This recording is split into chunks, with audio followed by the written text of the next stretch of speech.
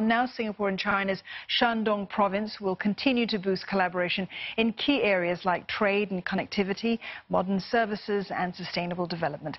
Senior Minister of State for Trade and Industry, Chee Hong Tat, highlighted this, these priority areas at the 21st Singapore Shandong Business Council meeting and he said that against the current global economic environment, both sides need to reaffirm their commitment to global trade.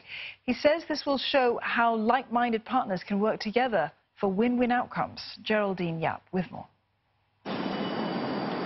Singapore supply chain management company YCH is expanding into Shandong province with its new logistics park set to open in Qingdao in 2021.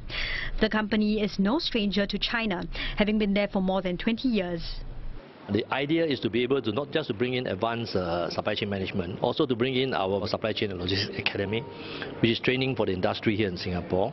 We intend to bring that in to be able to use that platform to actually also build up the skills that's necessary for Shandong, for Qingdao to grow in that kind of a value chain.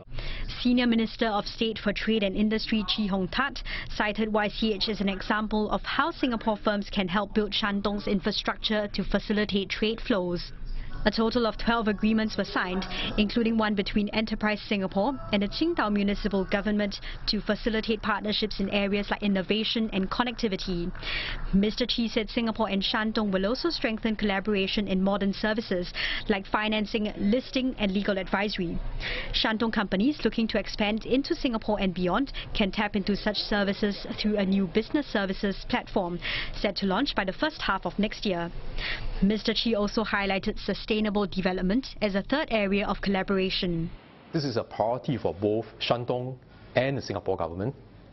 And in particular eh, for uh, heavy industries, how do we help them to be more efficient, more sustainable, and um, how do we then develop urban solutions and also engineering solutions that can help our companies to be more environmentally friendly. He added both sides will also continue to provide opportunities for student exchanges between Singapore and Shandong.